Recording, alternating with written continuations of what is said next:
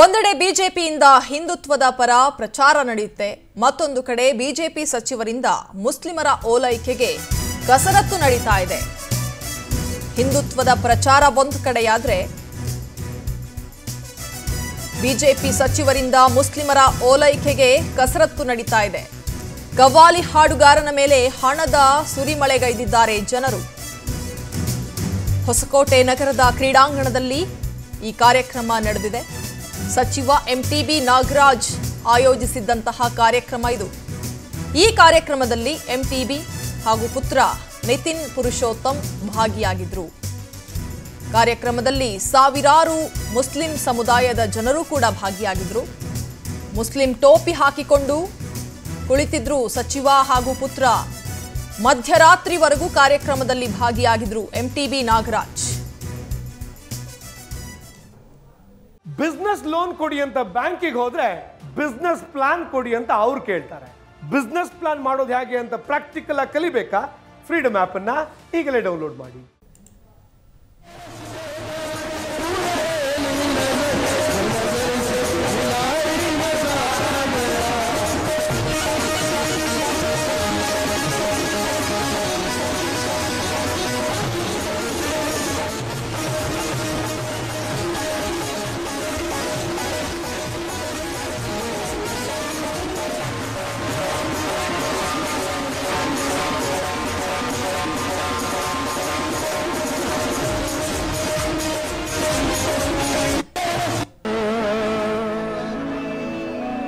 Her geçmedim, her geçmedim, her geçmedim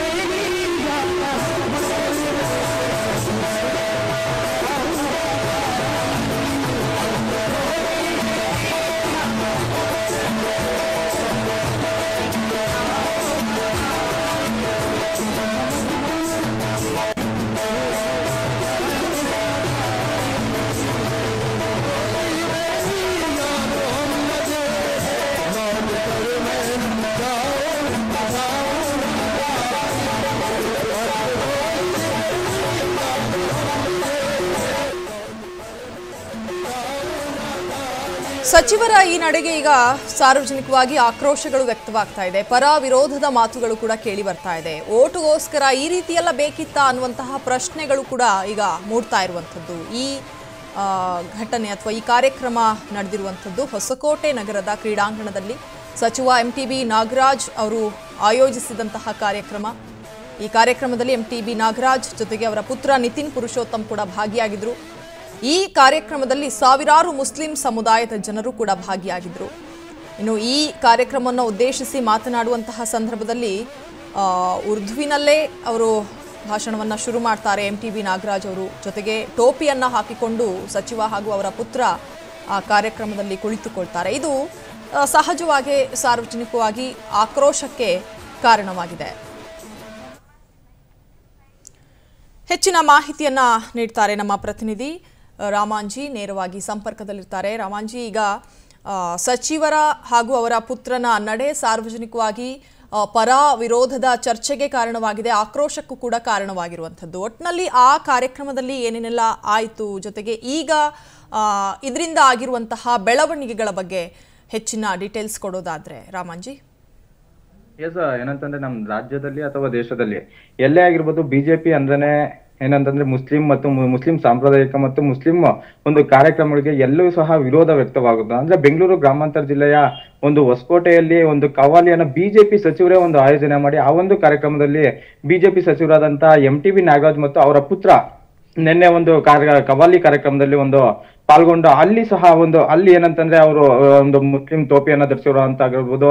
ಮತ್ತು Muslim ಭಾಷಣ, ಭಾಷಣದಲ್ಲೇ ಇವರು ಒಂದು ಕಾರ್ಯಕ್ರಮವನ್ನ, ಅಂದ್ರೆ ಕಾರ್ಯಕ್ರಮದಲ್ಲಿ ಭಾಷಣ ಮಾಡಿರುವಂತದ್ದು ಏನಂತಂದ್ರೆ ಇಲ್ಲಿ ಏನಂತಂದ್ರೆ ಪ್ರಮುಖವಾಗಿ ಏನಂತಂದ್ರೆ ಇಲ್ಲಿ ಅಂದ್ರೆ ಒಂದು ಕವಾಲಿ ಕಾರ್ಯಕ್ರಮದಲ್ಲಿ ಯಾವುದೇ ಬಿಜೆಪಿಯ ಬಾವುಟವನ್ನ ಅಂದ್ರೆ ಬಳಸಿಲ್ಲ ಅಂತಾನೆ ಹೇಳ್ಬೋದು. ಆನಂತರ ಇನ್ನೊಂದಂದ್ರೆ ಹೊಸಕೋಟೆ ವಿಧಾನಸಭಾ ಕ್ಷೇತ್ರ ಅಂತಂದ್ರೆ ಇಲ್ಲಿ ಅಂದ್ರೆ ಪಕ್ಷದ ವರ್ಚಸ್ಸಿಗಿಂತ ಒಂದು ವ್ಯಕ್ತಿ ವರ್ಚಸ್ಸು ಅಂತಾನೆ ಮುಖ್ಯ ಅಂತ ಆಗಿರ್ಬೋದು ಇಲ್ಲಿ ಎಂ ಟಿ ಬಿ ನಾಗರಾಜ್ ಅವರು ಈ ಒಂದು ಕಾರ್ಯಕ್ರಮನೇ ಅಂತಲ್ಲ, ಸಾಕಷ್ಟು ಹೊಸಕೋಟೆ ವಿಧಾನಸಭಾ ಕ್ಷೇತ್ರದಲ್ಲಿ ಮುಸ್ಲಿಂಸ ಮುಸ್ಲಿಂಸರ ಒಂದು ಕಾರ್ಯಕ್ರಮಗಳನ್ನ ಆಗಾಗ ಆಯೋಜನೆ ಮಾಡ್ಕೊಂಡೇ ಬರ್ತಾ ಇರ್ತಾರೆ. ಆದ್ರೆ ಬಿಜೆಪಿ ಅಂದ್ರೆ ಬಿಜೆಪಿ ಅಂದ್ರೆ ಸದಾ ಅಂದ್ರೆ ನಿರಂತರವಾಗಿ ಮುಸ್ಲಿಮ್ಸ್ ಕಾರ್ಯಕ್ರಮಗಳ ವಿರೋಧ ಮಾಡ್ತಾ ಬರ್ತದೆ. ಅಂದ್ರೆ ಇಲ್ಲಿ ಬಿಜೆಪಿ ಸಚಿವರಿಂದಾನೇ ನಿರಂತರವಾಗಿ ಕಾರ್ಯಕ್ರಮಗಳನ್ನ ಆಯೋಜನೆ ಮಾಡ್ತಾ ಇರುವಂತದ್ದು. ಒಂದ್ ಕಡೆ ಹಿಂದೂ ಹಿಂದೂ ಅಂದ್ರೆ ಇನ್ನು ಒಂದ್ ಕಡೆ ಬಿಜೆಪಿ ಪಕ್ಷ ವಿರೋಧ ವ್ಯಕ್ತಪಡಿಸ್ತದೆ. ಅಂದ್ರೆ ಬಿಜೆಪಿ ಸಚಿವರಿಂದಾನೇ ವಿರೋಧ ಅಂದ್ರೆ ಒಂದು ಮುಸ್ಲಿಂ ಮತದಾರ ಓಲೈಕೆಗೆ ಈ ಒಂದು ಮುಂದಾಗ್ತಾ ಇರುವಂತದ್ದು.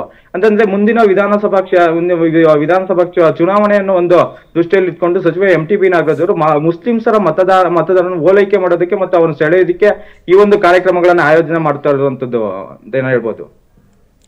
ಥ್ಯಾಂಕ್ ಯು ರಾಮಾಂಜಿ ಮಾಹಿತಿಗೆ. ಒಟ್ನಲ್ಲಿ ಬಿಜೆಪಿ ಸಚಿವರ ಈ ನಡೆಗೆ ಸಾರ್ವಜನಿಕವಾಗಿ ಆಕ್ರೋಶ ವ್ಯಕ್ತವಾಗ್ತಾ ಇದೆ. ಜೊತೆಗೆ ಪರ ವಿರೋಧದ ಮಾತುಗಳು ಕೇಳಿ ಬರ್ತಾ ಇದೆ. ಒಂದು ಓಟ್ಗೋಸ್ಕರ ಈ ರೀತಿಯೆಲ್ಲ ನಡ್ಕೋಬೇಕಾಗಿತ್ತಾ? ಮುಸ್ಲಿಮರಿಗೋಸ್ಕರ ಕಾರ್ಯಕ್ರಮವನ್ನು ಆಯೋಜನೆ ಮಾಡೋದು, ಅದರಲ್ಲಿ ಅವರು ಮುಸ್ಲಿಮರ ರೀತಿ ಟೋಪಿ ಹಾಕೊಂಡು ಅಥವಾ ಉರ್ದು ಭಾಷೆಯಲ್ಲಿ ಮಾತನಾಡುವಂಥದ್ದು. ಇದು ಸಾರ್ವಜನಿಕವಾಗಿ ಆಕ್ರೋಶಕ್ಕೆ ಕಾರಣವಾಗಿದೆ. ಜೊತೆಗೆ ಅಲ್ಲಿ ಹಾಡುಗಾರನಿಗೆ, ಸಂಗೀತಗಾರನಿಗೆ ದುಡ್ಡಿನ ಸುರಿಮಳೆಗೈತಾ ಇರುವಂಥದ್ದು. ಇದು ಸಾರ್ವಜನಿಕರ ಕೆಂಗಣ್ಣಿಗೆ ಗುರಿಯಾಗಿದೆ. ಪರ ವಿರೋಧದ ಚರ್ಚೆಗಳು ಆಗ್ತಾ ಇದೆ. ಈ ರೀತಿ ಹಲವಾರು ಕಾರ್ಯಕ್ರಮಗಳನ್ನು ಈ ಹಿಂದೆ ಕೂಡ ಎಂ ಟಿ ಬಿ ನಾಗರಾಜ್ ಅವರು ಈ ಭಾಗದಲ್ಲಿ ಮಾಡ್ತಾ ಬಂದಿದ್ದಾರೆ. ಈಗಲೂ ಕೂಡ ಮುಸ್ಲಿಮರ ವೋಟ್ ಬ್ಯಾಂಕ್ಗಾಗಿ ಅವರ ಮತಗಳನ್ನು ಸೆಳೆಯೋದಕ್ಕೆ ಈ ರೀತಿ ಕಾರ್ಯಕ್ರಮಗಳನ್ನು ಮಾಡ್ತಿದ್ದಾರೆ.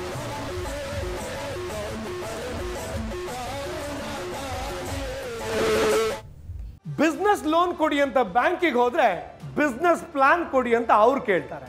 ಬಿಸ್ನೆಸ್ ಪ್ಲಾನ್ ಮಾಡೋದು ಹೇಗೆ ಅಂತ ಪ್ರಾಕ್ಟಿಕಲ್ ಆಗಿ ಕಲಿಬೇಕಾ? ಫ್ರೀಡಮ್ ಆ್ಯಪನ್ನು ಈಗಲೇ ಡೌನ್ಲೋಡ್ ಮಾಡಿ.